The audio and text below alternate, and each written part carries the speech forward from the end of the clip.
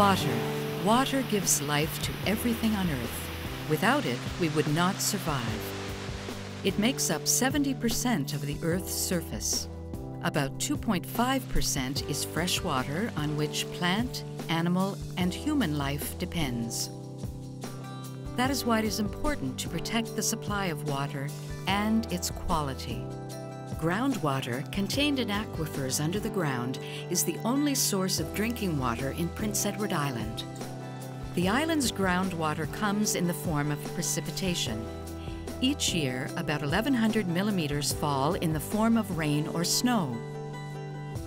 Of that, 40% evaporates into the atmosphere. Another 26% is runoff into rivers and streams. The remaining 34% goes into the ground as groundwater recharge. That's about 2 billion cubic meters of water, enough to fill 800,000 Olympic sized swimming pools.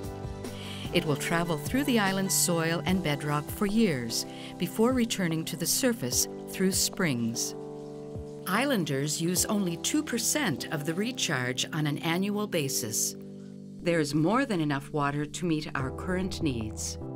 Lots of water province wide, however, does not mean that it is plentiful everywhere. The island is made up of watersheds. A river's watershed is all the land area from which water drains into that river. Water that is absorbed into the ground of a watershed stays in that same watershed. Watersheds that use a lot of water may experience shortages while neighboring watersheds will still have plenty of water. That is why the Winter River watershed may experience shortages as a result of heavy water users such as the City of Charlottetown, while neighboring watersheds do not see any effects. Pumping from wells intercepts groundwater that would otherwise feed streams and rivers. To help guide future directions about the use of water, the government of Prince Edward Island will introduce a comprehensive Water Act the first of its kind in the province. The new act will update and replace the existing legislation and provide water security, give guidance to all government decisions involving the management of water resources, and put a science based series of laws in place.